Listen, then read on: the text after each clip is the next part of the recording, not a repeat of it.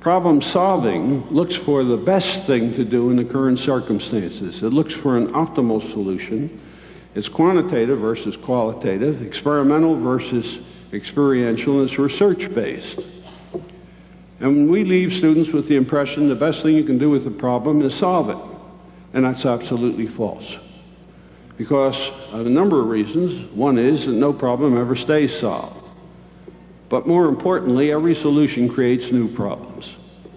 You see, every problem in science that was formulated by Galileo has long since been solved, but science hasn't disappeared. Because every time we solve a problem, we create a new one, and a new one is harder than the old one. The progress of science depends as much on a generation of new problems as it does on a generation of old solutions. We don't teach people that. But the important thing is there's something you do to a problem that's better than solving it. And that's dissolving it. How in the world do you dissolve a problem? By redesigning the system that has it so that the problem no longer exists. There's a marvelous story, probably apocryphal, but I like to believe it's true, of a young man who went to the Ohio Match Company many years ago with a proposal. Some of you are old enough to remember the paper books of matches, which used to be given out every time you bought a package of cigarettes. And there was a problem with those matches because if you left the cover open and struck a match on the abrasive on the front, sometimes a spark would fly from the match and ignite the matches in the book, and people would burn their hands. And the Ohio Match Company used to receive at least a thousand suits a year from people who had burnt their hands. Well, they got enough sense and printed on the bottom of the matchbox a little statement said, please close the cover before striking. You may remember that. It turned out this didn't do two things. First, it didn't reduce their legal liability for burned hands.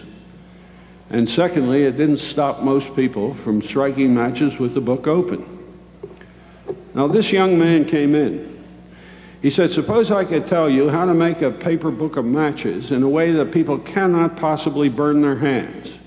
And it will cost you no more to make that book of matches than it does to make the current one. How much is it worth to you? He said, You tell us what the answer is and we'll tell you how much it's worth. He said, Oh, no. You tell me how much it's worth and I'll tell you the answer. Well, they wound up hiring lawyers who negotiated a contract and when the contract was finally negotiated, it involved actually $42,000, according to the story. The contract was signed by both men. He turned to the young man and said, what are you, What's your proposal? He said, Take the abrasive and put it on the back of the matchbook cover. And everyone subsequently was done that way. See, he didn't solve the problem, he dissolved it. He redesigned the matchbook cover so the problem no longer existed. Disillusion involves design. Solution involves research. We don't recognize design as a way of dealing with problems that's superior even to research. And we don't teach design because we don't know it and don't understand it.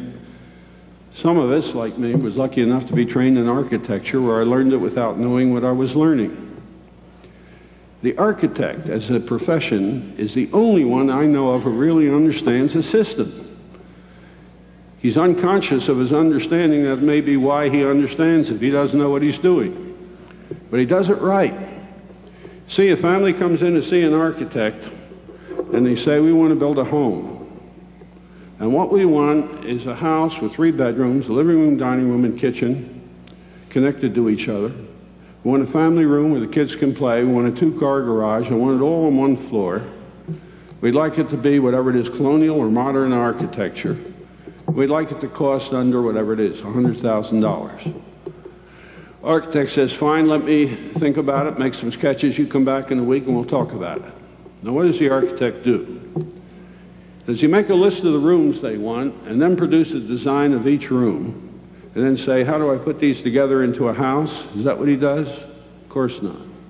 What he does is produce a sketch of the house, the whole. And now he begins to put rooms in it. He divides the space of the house up into rooms. Then he looks at it and he says, Well, these bedrooms are a little too small and they're the wrong shape. They're a little too long for their width. So I ought to make them a little wider, but that means changing the house. Should I change the house? Only if changing the house to accommodate the room makes the house better.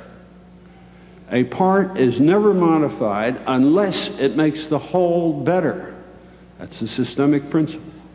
You don't change the part because it makes the part better without considering its impact on the whole.